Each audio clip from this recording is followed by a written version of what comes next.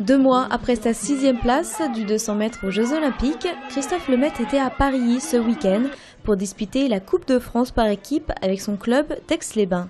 Et cet hiver aussi, le double champion d'Europe rejoindra Lyon pour préparer sa saison indoor. Bon, bien sûr, je m'entraînerai bien sûr beaucoup. Toujours la majorité du temps avec les bains, mais comme euh, maintenant ils vont ouvrir une salle euh, d'athlée à Lyon, qui va être inaugurée bah, en novembre, et bah, on, va demander, euh, on va demander si on peut en profiter nous aussi. Et avant de rejoindre la halle Stéphane Diagana, Christophe Lemaitre a profité en toute décontraction de ce week-end. L'événement phare de cette fin de saison estivale tient toujours à cœur aux athlètes professionnels.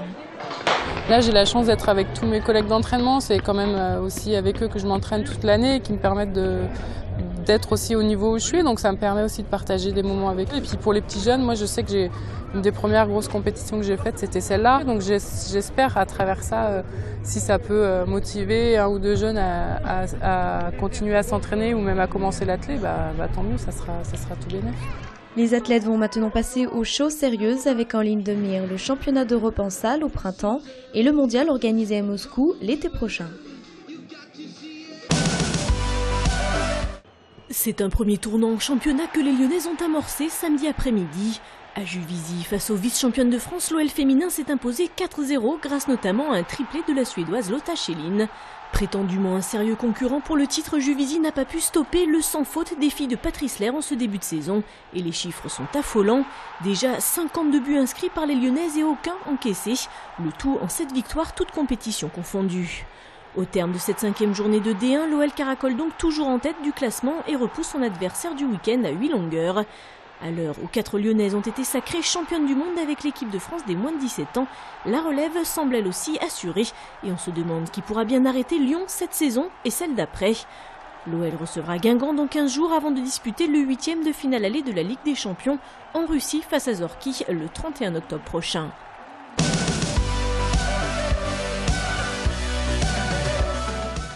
Deuxième victoire en deux matchs pour l'Asvel après le champion la semaine dernière. Vendredi soir, les Verts accueillaient le promu Boulazac à l'Astrobal et les hommes de Pierre Vincent ne sont pas tombés dans le piège périgourdin puisqu'ils s'imposent sans briller certes 80 à 73, eux qui n'avaient pas enchaîné deux succès consécutifs depuis huit mois et demi.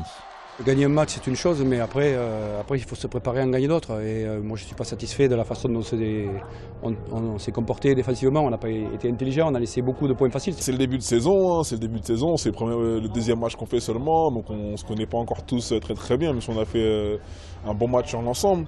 Avec un 5 de départ complètement remanié dont Edwin Jackson est le seul rescapé de la saison dernière, les Villeurbanais ont donc alterné le bon et le moins bon, le signe d'une équipe toujours en rodage, sans doute puisque pas moins de 6 nouveaux joueurs, dont 4 étaient titulaires vendredi, sont arrivés à l'intersaison.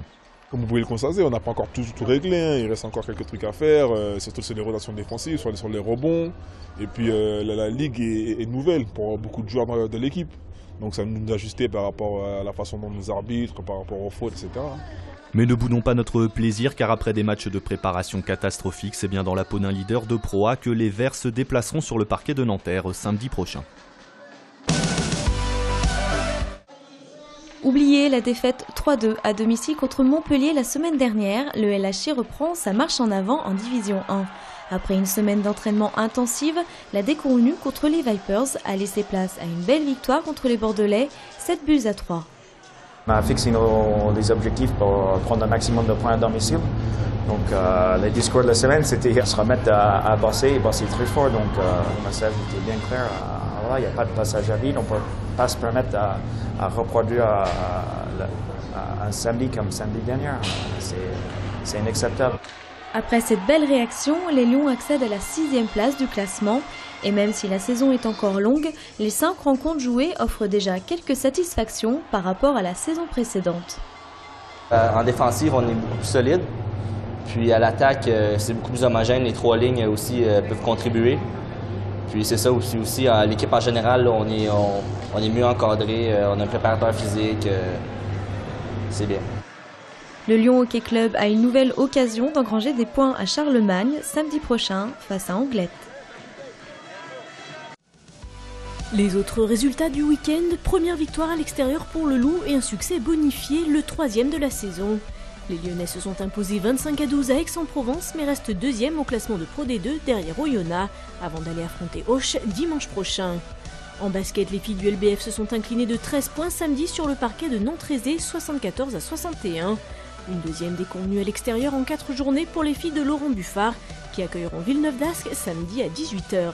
Enfin, la Sulle est allée arracher la victoire à Calais 3-7 à 2, le deuxième succès en autant de journées pour les Lyonnais qui tenteront la passe de 3 samedi prochain avec la réception de Nice.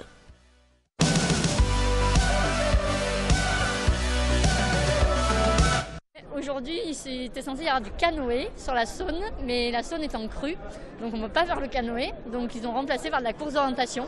Un changement de dernière minute qui n'a pas perturbé le bon déroulement du raid semi-urbain semi-nature de l'école centrale de Lyon, qui pour sa deuxième édition a rassemblé 200 participants venus de toute la France. Ouais, super dur, parce qu'on a bien, on a bien accéléré tout le long et euh, la montée de Fourvière et euh, la montée de la Croix-Rousse nous a achevés. C'est sympa, la ville de Lyon est belle, il fait beau, c'est parfait. La journée du samedi qui se passe dans, en milieu urbain et la journée de, du dimanche est euh, dans le massif des Monts d'Or.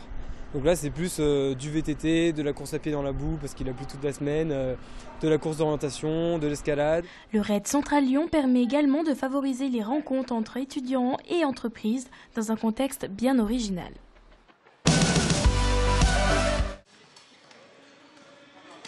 Euh, J'ai fait tenir la raquette sur la non, la balle sur la raquette. Le club a l'air d'avoir un bon état d'esprit. Euh, c'est à la fin un sport individuel, mais il y a une espèce d'esprit collectif. Donc, euh, Allez je pense qu'il, pour l'instant, il est bien parti pour continuer. Ils sont en catégorie Baby Ping. Ils ont de 4 à 6 ans et sont déjà licenciés en club sportif. Cette semaine, dans le club près de chez vous, nous vous présentons le club de tennis de table, la LCR.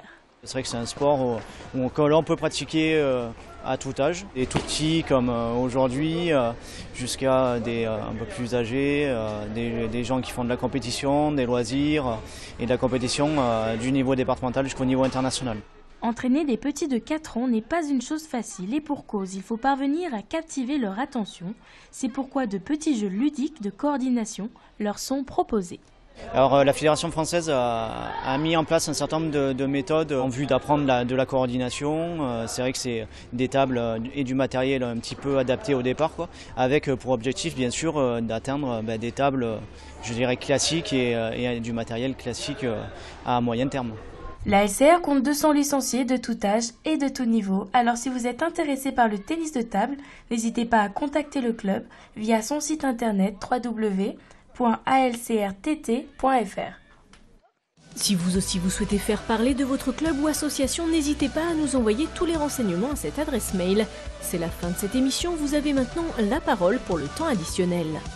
Une grosse dédicace à tous les inguingampés et à tous les gringos de France qui nous soutiennent. Mon pote Roger, c'est Milou là, qui donne le bonjour à Alette et à ma femme Yvette. Vive la Chine